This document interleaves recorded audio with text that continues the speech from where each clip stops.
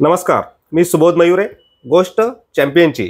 च्या या नव्या भागात आपलं स्वागत करतो आणि आजचा आपला चॅम्पियन आहे तनुष कोटियन. मुंबईला बेचाळीसावं रणजी अजिंक्यपद पटकावून देण्यात त्यांनी मोलाची भूमिका वठवली आहे. सर्वप्रथम तनुष अभिनंदन तुझं आणि स्वागत आपल्या या गोष्ट. चॅम्पियनच्या आजच्या सेगमेंटमध्ये किती मोठी गोष्ट आहे कारण जे स्वप्न मुंबईकर अनेक वर्षांपासून खास करून गेल्या आठ वर्षांपासून बघत होते आपण एक्केचाळीसावं अजिंक्यपद दोन हजार पंधरा सोळाला पटकावलं होतं. त्यानंतर दोन वर्षांपूर्वी आपण फायनलला गेलो होतो पण थोडक्यात चुकलं हुकलं ते अजिंक्यपद ही जी ट्रॉफी तुम्ही जिंकली आहे मिळवली आहे किती मोठी गोष्ट आहे तुझ्यासाठी? माझ्यासाठी ही ट्रॉफी खूप मोठी गोष्ट आहे कारण की आम्ही जी टीम आहे आमची सध्या जी खेळतात त्या त्या टीममध्ये जे बॉन्ड जमले आहेत आमच्या सगळ्यांमध्ये की. सगळे एकत्र दोन तीन वर्षापासून एकत्र एफर्ट लावतात मेहनत करतात की तीन वर्षापासून आम्ही बघतोय एक दुसऱ्यांना काय करतोय कसं करतोय एफर्ट लावतोय. पण आम्ही विजय हजारे जिंकलेलो बरोबर. मुस्ताक अली जिंकलेलो आणि रणजी ट्रॉफी आम्ही फायनलला गेलेलो दोन वर्ष अगोदर. आणि तिकडे आम्ही हरलेलो पण विजय हजारेंनी मुस्ताक अली आम्ही जिंकलेलो पण रणजी ट्रॉफी अजून जिंकलो नव्हतो ही. टीम. तर आम्हाला ते होतं की रणजी ट्रॉफी काय करून जिंकायचं फायनलला जाऊन थोड्यासाठी आम्ही राहिलेलो त्या वर्षी.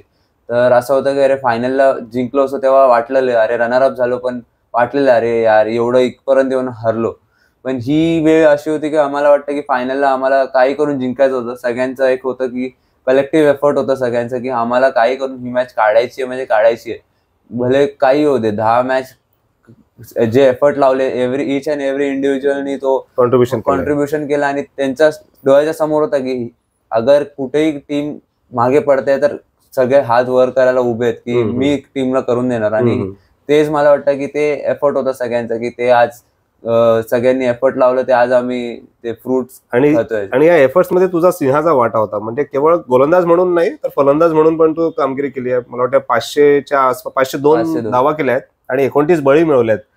तर ही कामगिरी किती मोलाची वाटते? कारण एकीकडे आपण मुंबईला रणजी ट्रॉफी जिंकवून देण्यात मोलाची कामगिरी करतो आणि दुसरीकडे आपली वैयक्तिक कामगिरी पण खूप चांगली होती आणि ती सातत्यपूर्ण कामगिरी राहते पूर्ण थ्रू आउट द टुर्नामेंट हे हा आत्मविश्वास किती महत्त्वाचा आहे तुझ्यासाठी? कारण प्लेअर ऑफ द टुर्नामेंटचं बक्षीस तुला मिळवलंय मिळालंय.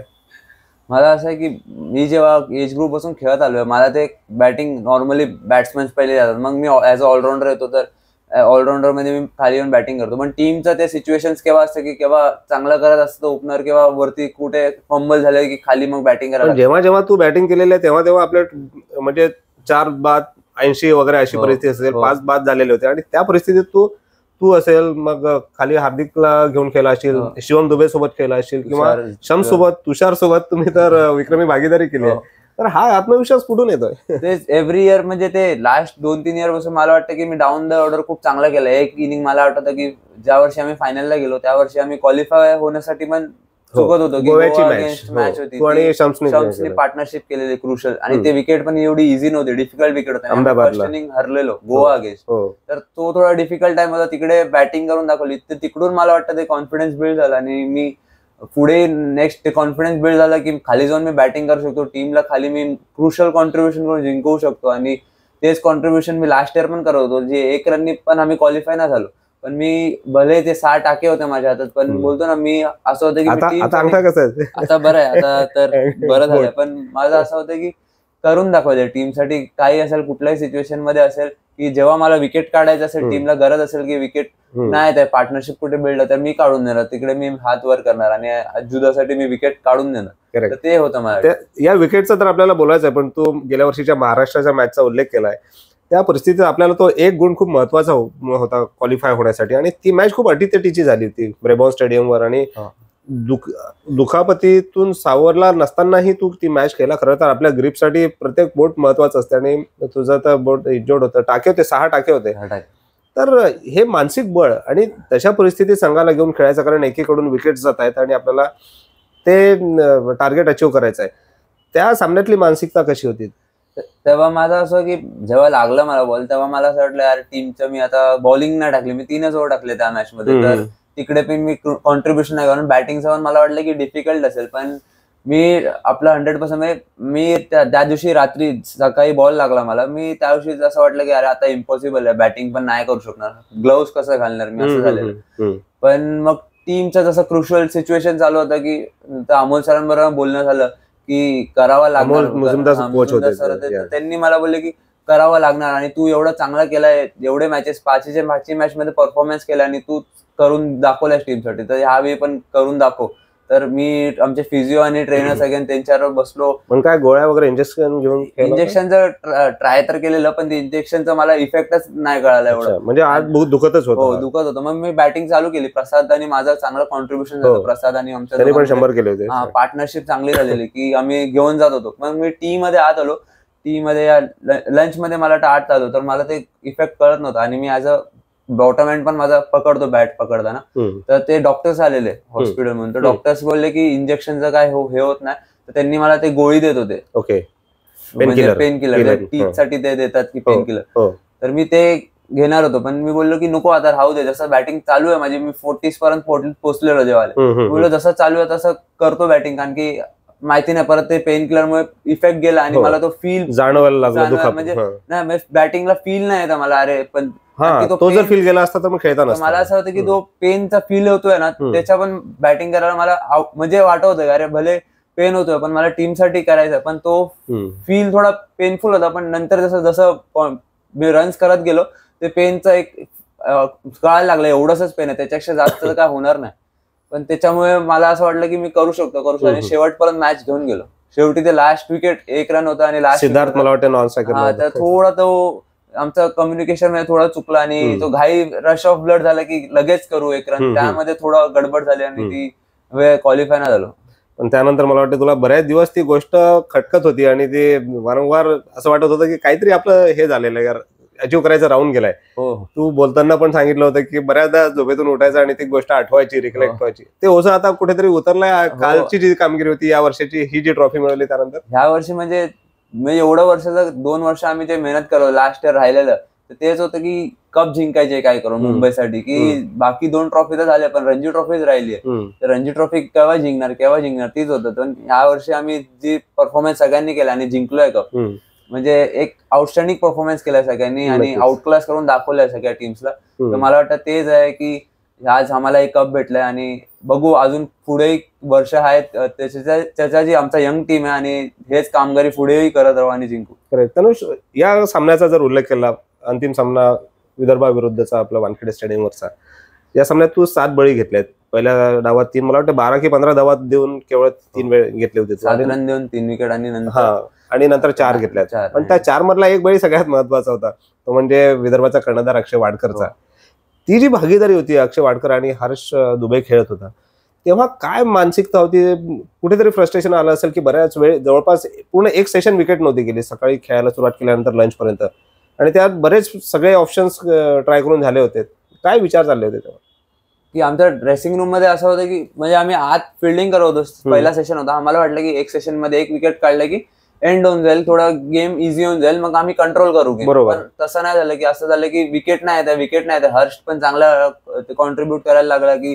डिफेन्स करून दाखव होता की आणि विकेट पण स्लो झालेली विकेटवर टर्न होत होता बॉल टर्न. होतोय पण एवढा स्लो झालेला की बॅट्समॅन ऍडजस्ट करत होता आणि वाडकर ऍज अ स्पिनला चांगला खेळतो खेळतो. आणि दोघंही चांगले खेळ होते तर आम्ही थोडं फ्रस्ट्रेट झालेलो की विकेट केव्हा येणार आणि डीआरएस बीआरएस इकडे संपले होते, डीआरएस. पण थोडेफार इकडे तिकडे गेले आणि संपलेले हम्म. अजुदा पण तो होते की आपण दुसरा जो रिव्ह्यू जर घेतला असता तर तो एकदम तेव्हा आउट होता. पण थोडा तो कसा की करून नायरसाठी तो डिकेदाचा एक रिव्ह्यू निघून गेला पण हो. एकच रिव्ह्यू राहिलेला त्यामुळे मग रिस्क थोडा नाही ते रिस्क नाही घेतलं की कारण की एकच रिव्ह्यू राहिला आणि इकडे पण. हा वेस्ट झाला की थोडा तो होऊन जाईल इकडे तिकडे पण आमचा होता की काय ना काय करून तर विकेट काढायचं विकेट काढायचं फ्रस्ट्रेशन होत होतं. लंच पर्यंत पण आम्ही आत गेलो सेकंड अज्जुदानी सगळ्यांशी बोलणं बिलणं केलं.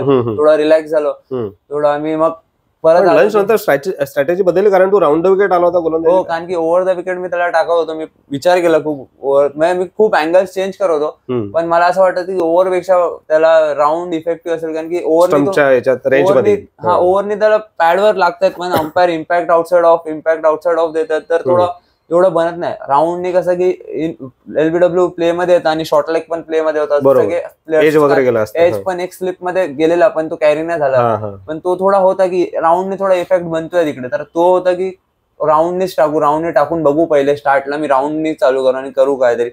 तेच होतं की आम्ही प्लॅन केलेला आणि प्लॅन करून तो एक विकेट भेटला की आम्हाला माहीत होतं की आम्ही पुढे कोलॅप्स करू त्यांना. अक्षय वाडकर आणि हर्ष दुबे ची जी पार्टनरशिप होती एकशे तीस धावांची ती जवळपास दोनशे पंचावन्न बॉल खेळले होते म्हणजे तोपर्यंत आपल्याला विकेट नव्हती मिळाली पण त्यानंतर जे राहिलेले जे चार फलंदाज होते ते केवळ पंधरा धावांमध्ये तंबूत परतले आणि त्यातही मला वाटतं तू एक नंतर विकेट घेतली हो. होती तर त्यानंतर ते झटपट सगळं गुंडाळलं होतं की तेव्हा काय मनस्थिती होती कारण की आम्हाला तो एक विकेटसाठी हम्म. प्रयत्न होता की ते दोन मेन बॅट्समन होते हो. नंतर असं होतं की थोडं ऑलराऊंडर्स होते हर्षला पण तूच काढलं मला वाटतं हर्षला तुषारने काढला तुषारने हा लेग. स्लिपला हो. बाउन्सरवर काढलं पण तो कसा की वानखेड्यावर आम्ही मॅचेस खेळलो म्हणजे बघितलं ऑब्झर्व केलं की विकेट नाही आले तर पार्टनर म्हणजे असं होतं की खूप टाइम विकेट नाहीत की पार्टनरशिप बिल्ड होते पण हो. विकेट एकदा आली की लागोपाठ विकेट येते तर. आमचा तो प्लॅन होता की स्ट्रॅटेजी होता एकदा विकेट आणि हर्ष दुबे पण नेक्स्टच ओव्हर आउट झाला हो, हो. नंतर आम्ही थोडं रिलॅक्स झालो की. आता आहेत की आता नवीन दोघे नवीन बॅट्समॅन आहे आणि एवढं इझी नाही होणार दोघे नवीन बॅट्समॅन. आले आणि खेळायला. तर त्यांना आम्ही तेव्हा अटॅक केला आणि ऑल आउट केलं. तुझा कामगिरी जर बघितली तर या सीझनची म्हणजे तुझी सेंचुरी शतक रणजी ट्रॉफी मधलं आणि सोबत तुषार त्यांनी पण शतक केलं होतं आणि ही जी भागीदारी होती ती रणजी ट्रॉफीतली दहाव्या आणि अकराव्या फलंदाजांनी केलेली एक मोठी भागीदारी होती विक्रम भागीदारी होती. या भागीदारीविषयी ही जी पार्टनरशिप होती त्या इनिंगची मला वाटतं क्वार्टर फायनलची मॅच होती बरोडा वर्सेस बीकेसीला. तेव्हा काय तुमची मनस्थिती होती दोघांची आणि काय विचार करून खेळला होता कारण जी काही फलंदाजी होती ती वेगळी केली होती असं मला वाटतं दोघांनी पण नाही तुषाराने आम्ही तर डाऊन द ऑर्डर टीमसाठी बॅटिंग करतो पण आम्हाला एवढं हे नव्हतं की आम्हाला बॅटिंग करायची आहे की आम्हाला ओव्हरनाईट नॉट आउट होते मला वाटतं. ओव्हरनाईट नॉट आउट होतो की आम्हाला टाइम काढायचा आहे कसंही करून टाइम काढायचा की. त्यांना परत प्ले मध्ये नाही आणायचं. आणि त्यांना प्ले मध्ये आणून त्यांना परत चेस करायला चेस थोडं डिफिकल्ट म्हणजे आम्ही तेवढा रन्स तेवढा लावला नव्हता बोर्ड्सवर की हम्म. त्यांना परत बॅटिंग देऊन परत आम्ही ऑल आउट करायला जाऊ की विकेट ती पण आम्ही मॅच खेळलो विकेट. खूप चांगली होती की. पाच दिवस झाले दोन इनिंग संपल्या नव्हत्या की. विकेट खूप चांगली होती तर आम्ही पण जशी जशी बॅटिंग केली की तुषार आणि मी माझा प्लॅन होता की चांगल्या बॉलला आम्ही रिस्पेक्ट करू. की आणि घेऊन जाऊ जेवढं डीप होईल तेवढं घेऊन जाऊ की रॅश शॉट नाही खेळायचं इकडे जेव्हा लूज बॉल येणार तेव्हा आपण कन्वर्ट करू की लूज बॉलसाठी वेट करू आणि तर पहिल्या सेशन किंवा डे एंड पर्यंत आम्ही थोडं डिफेन्सिव्ह खेळलो की वॉच केलं काय होतोय काय होतोय हम्म. तर आम्हाला ते डे एंडच्या पहिले आम्ही जी बॅटिंग केली त्याच्यात दोघांनाही कॉन्फिडन्स आला की आम्ही आपण. करू शकतो बॅटिंग. तर सकाळी पण जसं आम्ही स्टार्ट केलं की एकदम आम्ही म्हणजे एकदम होतो शेल मध्ये की बॅटिंग करायची नॉट आउट जायचंय की मोटर रन करायचं की मी फिफ्टी पर्यंत फिफ्टी केले तर तो थर्टी पर्यंत आला. माझं होतं की तुमची कॉम्पिटिशन सुरू होती. म्हणजे माझं असं होतं की मी त्याच्या पन्नाससाठी खेळणार. आता त्याच्या पन्नास होईपर्यंत मी सांभाळून दोघांचं होतं की दोघांसाठी एक दुसऱ्यांचं चांगल्यासाठी आम्ही टीम वर्कसाठी करवतो. अरे आता मी सत्तर वर आलोय तो बोलला अरे मी तुझ्या शंभरसाठी मी खेळतो. असं दोघांचं होतं की चल आपण करू एकमेकांसाठी. मग एकत्र दोघंही नाईन्टी नाईन्टीजमध्ये आलो मग एकत्रही नेक्स्ट एक दोन ओव्हरमध्ये आम्ही दोघांनी शंभर तेच थोडं हॅपनिंग मुवमेंट होतं. त्या म्हणजे हॅपी. मुवमेंट होतं. त्या मुवमेंट असं झालं की अरे बस हेच पाहिजे आणि तुषारसाठी पण फर्स्ट हंड्रेड होतं. आणि तेव्हाही म्हणजे असं टेन्थ आणि इलेव्हन्थ नंबरला एवढं मोठं कॉन्ट्रीब्युशन करणं असा विचार नाही केला. पण. आम्ही अप्लाय केला आम्हाला जे म्हणजे जेवढी बॅटिंग आम्हाला माहिती आहे की आमची डाऊन दी ऑर्डर आम्ही किती बॅटिंग फक्त अप्लाय केलं. तेच त्या- कामयाब झालो त्याच्यात. त्या तुमच्या दोघांच्या शतकीय दहाव्या आणि अकराव्या नंबरवर येऊन दोघांनी जी शतकीय खेळी केली त्या त्यामुळे केवळ तुम्हाला ती तीन आकडे धावसंख्या मिळाली नाही तर एक वेगळा मेसेज पण गेला की मुंबईची जी बॅटिंग ऑर्डर आहे ती एक पासून सुरू होते आणि पाच सहा पर्यंत संपत नाही तर ती अकरा पर्यंत आहे. हो. आणि तुम्हाला वाटतं एक सायकोलॉजिकल प्रेशर आलं असेल नंतर सेमीफायनलचा जो सामना असेल तामिळनाडू विरुद्ध किंवा फायनलला विदर्भ. कारण सगळे जण म्हणत होते की नाही हे तर टॉप ऑर्डर म्हणजे प्रॉपर बॅट्समन आहेत. तू आता एक खूप चांगला शब्द वापरला की मी रॅश शॉट आम्ही दोघंही खेळलो नाही. तर टॉप ऑर्डर प्रॉपर बॅट्समनला जे शॉट खेळता येतात मग ते बॅकफूट पंच असेल किंवा ऑन ड्राईव्ह असेल फ्लिक असेल स्ट्रेट ड्राईव्ह असेल हे सगळे शॉट्स तुझ्या हातात आहेत. तू प्रॉपर टॉप ऑर्डर बॅट्समन सारखा नेहमी खेळताना दिसतो. कधी असं वाटत नाही की एक बॉलर आहे आणि काहीतरी दोन तीन ओव्हर्स खेळेल वगैरे. तर ही जी बॅटिंगची तू जे स्किल अचीव केलंय किंवा जे टेम्परामेंट तू दाखवतोय वारंवार तू प्रत्येक बॉल कुठलाही असेल खेळपट्टी कुठली असेल त्यानुसार ऍडजस्ट करून खेळताना दिसतोय. तर ही मेहनत तू कशी घेतली आणि इथपर्यंत त्या बाबतीत कसा पोहोचलास मी म्हणजे माझ्या टीम बरोबर मी टीमची प्रॅक्टिस असते एमसीएल ला किंवा मी खूप मेहनत करतो की बॅटिंग नेट्समध्ये बॅटिंग करतो खूप खूप फोकस करून करतो. माझ्या बाबांबरोबर मी प्रॅक्टिस करतो. तर विक्रोळीमध्ये प्रॅक्टिस करतो त्यांच्यावर जेव्हा असतो तर कर्नाटकलाही प्रॅक्टिस करतो. तर ते विचार करून करतो म्हणजे काय करायचंय काय एव्हरी डे माझा काय प्लॅन आहे की काय करायचं मला डिफरंट. विकेट्सवर प्रॅक्टिस केल्यामुळे पण फायदा होतो. प्रॅक्टिस करतो. आणि राजेश सनील सर आहेत ते माझे बॅटिंगचे कोच आहेत. म्हणजे खूप टाइमपासून माझ्याबरोबर अं, त्या म्हणजे अंडर सिक्स्टीन पासून मी त्यांच्याबरोबर आहे की तेव्हापासून माझ्या बॅटिंगसाठी मी त्यांच्याकडे जातो. काही हेल्प असेल तर ते मला गाईड करतात. पण त्यांना माहिती आहे की माझ्याकडे काय बॅटिंग आहे.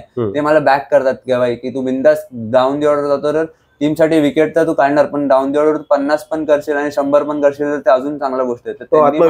मला- हो तिथं सर आणि सरांनी पण बॅक केलं बाबांनी पण मला तिकडे बॅक केलं आणि माझ्याकडे माहिती होतं की एज म्हणजे मी एज ग्रुप पण खेळलो पण खाली जाऊन रन्स करत हो. होतो तर तो एक रन्स करायचा माझा एक होता की बॅटिंग. करायला एन्जॉय करतो मी बॅटिंग असं की. बॅटिंगला रन्स करायचं म्हणजे बॅटिंगला रन्स ना मला एन्जॉय करायचे बॅटिंग जे मी करतो म्हणजे मला असं माझे पण शॉर्ट्स आहेत. मी असं बघत नाही की डिफेन्सिव्ह खेळ माझे जे शॉर्ट्स आहे मी जाऊन डायरेक्ट बिंदास खेळतो. पॉझिटिव्ह इंटेंटनी खेळतो. आणि तेच एन्जॉय करतो बॅटिंग आणि त्यातच रन्स करून करतो मी जेवढं. बरोबर आहे. पण तू गोलंदाज ऑफ स्पिनर सुरुवातीपासून नव्हता. आधी तू तुझ्या बाबांसारखीच वेगवान गोलंदाजी करायचा. त्या आठवणी सांगशील की वेगवान गोलंदाजाचा ऑफ स्पिनर कसा झाला? नाही मी लहान होतो तेव्हा मी असंच टाकायचो मेन तर ॲज अ बॅटिंगच बाबा मला डावखुरे बॉलर होते की right hand right arm pace bowling आणि बॅटिंग तर. लहान होतो तेव्हा काही फास्ट बॉलिंग टाकायचो पण मी मोठ्यांमध्ये प्रॅक्टिस करत होतो. बाबा मला मोठ्यांमध्ये प्रॅक्टिस करत पण त्यांच्यामध्ये असं पेस बाकीचे टाकताय जोरात आणि मी हवू टाकतो. तर तो अरे बोलतो हे काय होतंय? तर मी ऑफ स्पिनर बघतो स्पिनर फक्त हवू टाकतो. तर मी पण हवू टाकतो. अरे मला यांचा स्पीड मॅच होतोय कुठेतरी असं वाटलं. मग स्पिनमध्ये मी चांगलं करायला लागलो. जसे आम्ही स्कूलचे क्रिकेट पण खेळतो मी. सेव्हन्थ पर्यंत सेंट जोसेफमध्ये होतो. हो. तर तिकडे मी लीड करत होतो आणि बाबाच ती टीम सांभाळायचे. तिकडे मी खेळायचो. पण तेव्हा कसे मातीचे विकेट भेटायचे. तर फास्ट बॉलचा एवढा बॉल का होत नाही. आणि स्पिन टाकायचो तर कुठे काय टर्न व्हायचं हे व्हायचं. नंतर स्कूल विएनसुएला गेलो. विएनसुएला मला म्हणजे सेव्हन्थ पर्यंत मला एवढं क्रिकेट माहितीच नव्हतं मग एथ नाईन टेन्थ मी विएनसुएला गेलो तेव्हा मला कळलं की किती मोठा पूल आहे क्रिकेटचा की. तिकडे मी एलिट ग्रुपमध्ये जाऊन गायल्स हेरिस शिल्ड खेळायला लागलो. गोपाल कोळी सर. भेटले मला गोपाल कोळी सरांनी पण खूप ऍडवाइस केलंय कसं करायचं काय करायचं. तर तिकडे जाऊन मला खरं आयडिया आली की क्रिकेट काय दुनिया आहे क्रिकेटची. की ते स्कूल्स होते मोठे मोठे स्कूल्स खेळत होते की प्लेटमध्ये तर मी सेन्सेस ऑफ बाकीचे स्कूल सगळे होते. छोटं कॉम्पिटिशन एलिट ग्रुपमध्ये एलिट तीन मध्ये खरी दिवसाचे कॉम्पिटिशन तीन दिवसाचे मॅच होते त्याच्यात खूप कॉम्पिटिशन. कळलं आणि तिकडे मला टीममध्ये टीम पण आमची एवढी स्ट्रॉंग होती की तिकडे टीममध्ये मला जागा बनवायची इकडून जाऊन एथमध्ये मी गेलो आणि जागा बनवायची. तिकडे पण मी सगळे मॅचेस खेळलो. तेच होतं की तिकडेही स्ट्रगल होता. बरोबर मेहनत घ्यावंच लागलं पण तिकडेही स्ट्रगल होता. मी मला होतं की तिकडेही गेलो तिकडे परफॉर्मन्स करणार आणि टीममध्ये जागा बनवणार. टीमसाठी जिंकणार. आणि तिकडेही आम्ही गाईड स्टेट जिंकलेलो. अंडर फोर्टीन रिझविल हरवलेला गाईड स्टेट जिंकलो. ते सगळे मेमरीज आहेत की अजूनही की लहान असताना पण खूप केलं नक्कीच. त्याच मेहनत मेहनतीच्या जोरावर आणि त्याच यशाच्या जोरावरतून नंतर भारताकडनं अंडर नाईन्टीन पण केला.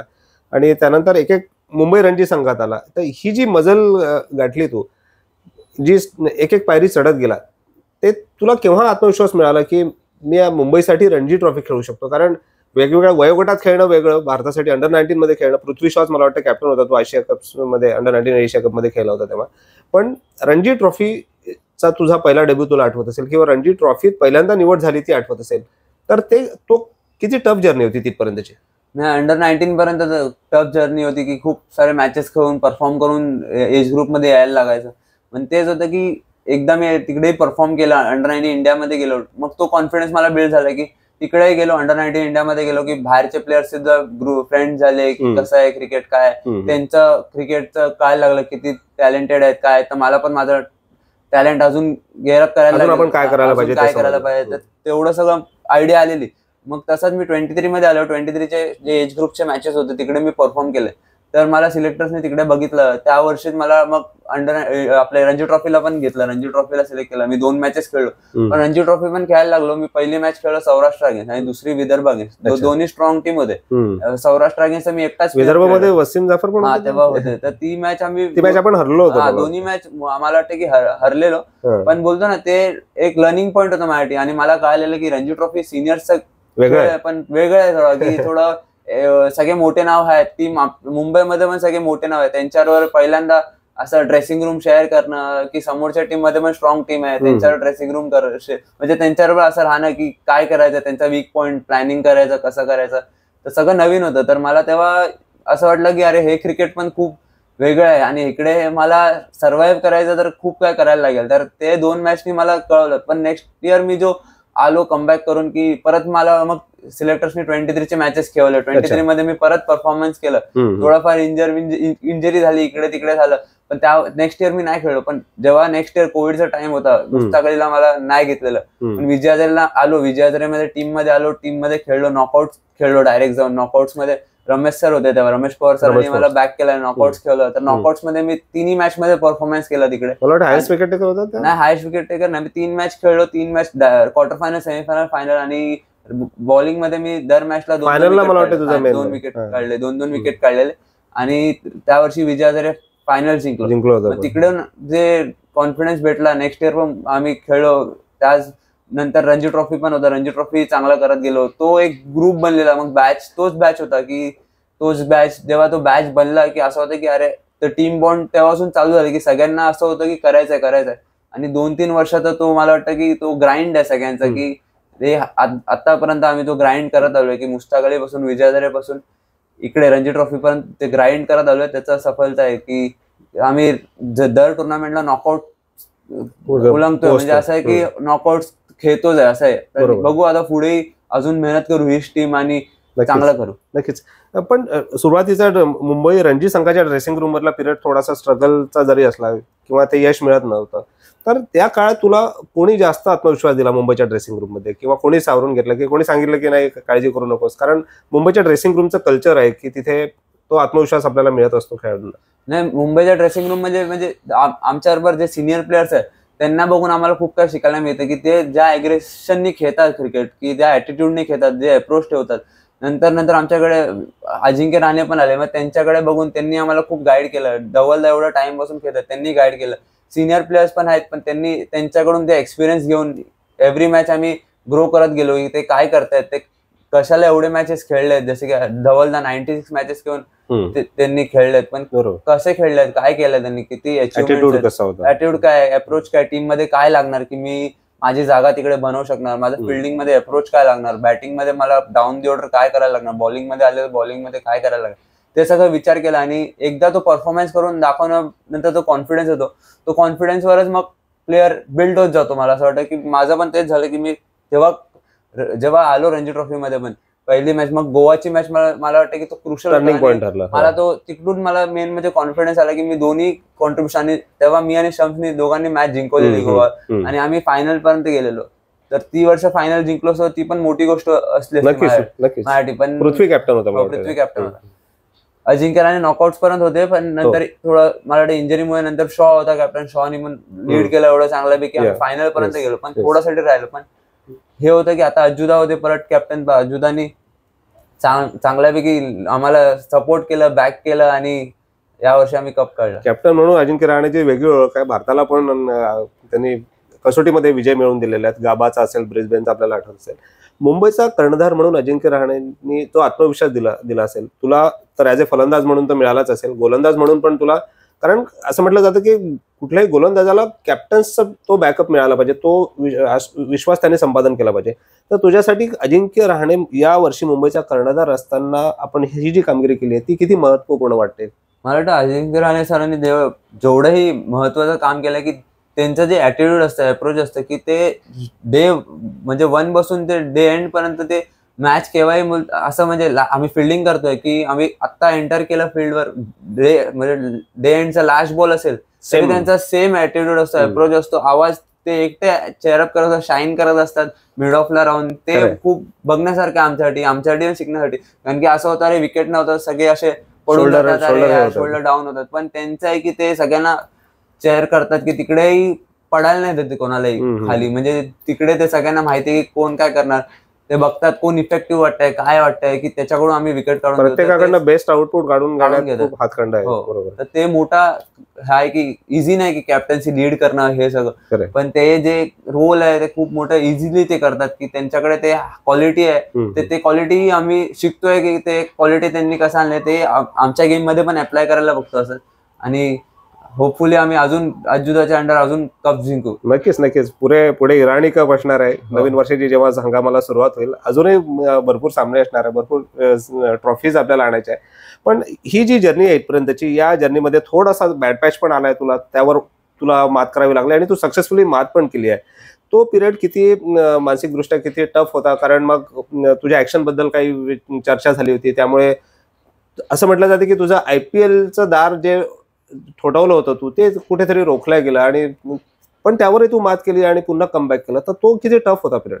माझ्यासाठी म्हणजे तेव्हा मुश्ताक अली मी मॅन ऑफ द मॅच जिंक होतो फायनल्समध्ये आणि बरोबर. सगळं माझ्यासाठी बरोबर चाललेलं. मला असं वाटलं की आयपीएलमध्ये माझं होऊन जाईल. कुठे ना कुठे ते चांगलं सगळीकडे नाव चालू होतं. अरे बरोबर. तरुण कुठे हा चांगला प्लेअर आहे चांगला प्लेअर आहे. पण मला होतं की कुठेतरी चांगला होऊन जाईल. ऑलराऊंडर आहे. हा तर माझं असं की कुठे ना कुठे तर होऊन जाईल माझं की काय ना काहीतरी कुठल्या टीममध्ये तर हो- होईल. आणि मग तिकडे जाऊन मी चांगला करेल पण तेव्हा थोडं जसं ऑप्शन चालू झालं त्याच्या पहिले न्यूज बाहेर आली हे सगळं. तर मी पण थोडं शॉक झालो की काय आहे काय चालू आहे? तर थोडस बॅक ऑफ द माइंड थोडं होतं की ह्याच्यामुळे कुठे अडकलं ना. आणि शेवटी ऑप्शनमध्ये नावच नाही आलं. तर मी थोडं. डिसअपॉइंट झालो की हे काय झालं काय झालं? पण नंतर नंतर माझ्या ह्याच्या म्हणजे मी कळायला लागलं की क्रिकेटमध्ये अशा गोष्टी होत राहतात की. मला अजून माझ्या क्रिकेटवर फोकस करायचा माझं क्रिकेट आणि हातात नाही त्यावर. हे हो, तिकडे मी. कशाला लक्ष देऊ? आणि पण विशेष म्हणजे कुठल्याच अंपायरनी कुठल्याच मॅच मध्ये तुला त्यासाठी नोबल दिला नव्हता किंवा वॉर्निंग दिली नव्हती. पण तरी या गोष्टी मला वाटतं उत्तराखंडच्या मॅच मध्ये मला एमसीने कळवलं नाही की काय असं काय आयडिया नव्हतं की उत्तराखंड मी जेव्हा मॅच रिपोर्ट त्याचे बघितले की मुंबई असं उत्तराखंडच्या मॅच मध्ये. कॉल केलेलं. पण मला ते आयडियाच नाही मी त्याच्यानंतरही मॅच असाच खेळलो की मला आयडियाच नव्हती आणि मी बिंदास खेळत होतो. नंतरचे मॅच हम्म. म्हणजे कोणी कॉल नाही केला आणि दोन वर्ष झाले आता मला वाटतं त्या गोष्टी. आणि मी खेळतच आहे. अजून एक कॉल कोणी काय केला. तेव्हा कसं काय कॉल केला काय कळालंच नाही का केला आणि काय. पण ते जर आता काय त्याच्यावर आपण काय करू नाही शकत तर. मी होतं की माझं तेव्हा झालं मी सगळं कॅम्प्स केले पण माझं नंतर असं होतं की क्रिकेटकडे फोकस करू ते तर नंतरच गोष्ट आहे जी मी करत आलोय एवढा. टाइम बसून की. क्रिकेटला एन्जॉय करतोय क्रिकेटमध्ये आपला चांगला परफॉर्मन्स करतोय तर हे गोष्टनी माझा माइंड डायव्हर्ट नाही झाला पाहिजे त्या साईडला की मी तिकडे अरे माझं हे चालू आहे बरोबर. ते चालू आहे. मी जे बॉलिंग जसं टाकत होतो त्याच ह्याच्याने टाकतोय. काय मी चेंजेस नाही केले बॅटिंगमध्ये पण तसंच करतोय. बरोबर. असं नाही झालं की अरे ते काढल्यामुळे मी काय चेंज केलं? मी त्याच्यानंतर काही सेम बॉलिंग खूप म्हणजे असं होतं की काय चेंज करायचं हे करायचं सगळं. पण. मी बोललो की काहीच नाही. मला जे टाकतोय मला माहितीये माझ्या मला माहितीये की मी काय आहे आणि मला भरोसा आहे माझ्यावर आणि मी बिंदास खेळणार. जे होईल मी बघून घेईल. नक्कीच आणि ते तू. फोकस राहिला म्हणूनच मला वाटते नंतर सातत्याने यश पण मिळवत गेला हो. आणि कोणी त्याबद्दल चर्चाही केली नाही किंवा ती हो. कॉल पण केलं नाही पुढच्या कुठल्याही सामन्यामध्ये हो कारण की मी एवढं लक्ष केलं की त्याच्यावर लक्ष देऊन फायदा नाही की. मला परफॉर्मन्स करायचं टीममध्ये मला जागा ठेव माझी बनवायची तर मला टीम. परफॉर्मन्स करतच राहायचं की असं नाही होईल की अरे हा अरे हा टीममध्ये हा टीममध्ये मला दरवेळी टीममध्ये परफॉर्मन्स नक्कीच करायलाच लागणार आहे. तर माझं असं होतं की मला परफॉर्मन्सवर लक्ष देऊ. चांगलं करू आणि पुढेही असं करत राहू. तर अजून दोन वर्ष झाले मी एवढं चांगलं क्रिकेट तू खेळतो नुसता नुसता परफॉर्मन्सच केला नाही. तर खणखणीत परफॉर्मन्स केलाय. हो. ऑलराऊंड परफॉर्मन्स केला आणि म्हणूनच best player of the tournament तुला या सीझनला मिळालं रणजी हो. ट्रॉफीच्या खूप मोठी गोष्ट आहे. पण आता एक शेवटचा प्रश्न विचारतो. की आय पी एल तर ठीक आहे संधी मिळेलही. कारण तुझी ज्या पद्धतीने तू कामगिरी करतोय उत्कृष्ट गोलंदाज आहे फलंदाज आहे सामना जिंकवून देऊ शकतो एखादी. आणि तितकेच चांगल्या दर्जाचं तुझं क्षेत्ररक्षण पण आहे. त्यामुळे आय पी एल फार दूर आहे असं मला वाटत नाही. पण भारतीय संघाचं जे स्वप्न असते प्रत्येक क्रिकेटपटूचं की भारतीय संघात पोहोचायचं मुंबईतले याच आपल्या मुंबईच्या संघातले आपण रणजी ट्रॉफी जिंकली आहे, पण जवळपास दहा एक खेळाडू भारतीय असंघाकडनं खेळतात काही जण भारतीय संघाकडनं खेळतात. सरफराज झाला यशस्वी झाला हे सगळे खेळताना दिसतात आहे. रोहित तर कर्णधारच आहे. पण तुझं स्वप्न तिथपर्यंत पोहोचण्याचं ते त्याकडे कसं बघतोय? मी आता जर जसं मी खेळतोय मला असं वाटतं की जसं मी रणजी ट्रॉफी पर्यंत खेळत आलोय की परफॉर्मन्स करत करत रणजी ट्रॉफी पर्यंत मी चांगलं करून आलोय इथपर्यंत. तर माझं तेच लक्ष आहे की मी पुढेही तेच करत राहू की परफॉर्मन्स करत राहू माझा एव्हरी गेम चांगला. तिकडे मी पोहोचेल पण त्याच्यासाठी मला एवढं मोठं एम नाही करायचं की मी मला तिकडे पोहोचायचं आहे. मला छोटे छोटे स्टेप्स लागायचे की माझ्या उद्या मॅच आहे माझ्यासमोर तर मी त्या मॅचमध्ये कसं चांगलं करेल? तर ते तिकडून मी चांगलं करणार तर त्या मोमेंटमध्ये मी कसं राहणार? की एवढं लांबचं विचार. करण्यापेक्षा त्या उद्या मी ठेवायचे. उद्या मला मॅच आहे तर मी त्याच्यावर कसं फोकस करणार आहे? त्याच्यावर माझं लक्ष असणार. या हंगामाच्या सुरुवातीला काही मनात ठरवलं होतं की मला तीस पस्तीस विकेट घ्यायचे आहे किंवा पाचशे रन्स करायचे हो माझं असं होतं की ऍज अ ऑलराऊंडर मी हाय टीममध्ये तर मला करून दाखवायला लागणार. लास्ट इयर थोडंसाठी राहिलेलं पण. खूप साऱ्या गोष्टी आल्या. मला दिलीप ट्रॉफीला घेतलं नाही last year last last year मी दिलीप ट्रॉफी जिंकलेलो की दिलीप ट्रॉफी मध्ये चांगला केला आणि. विनर होतो आम्ही आणि लास्ट इयर मला दिली- दिलीप ट्रॉफीला घेतलं नाही तर ते पण एक शॉकिंग होतं की दिलीप ट्रॉफीला मला का नाही घेतलं.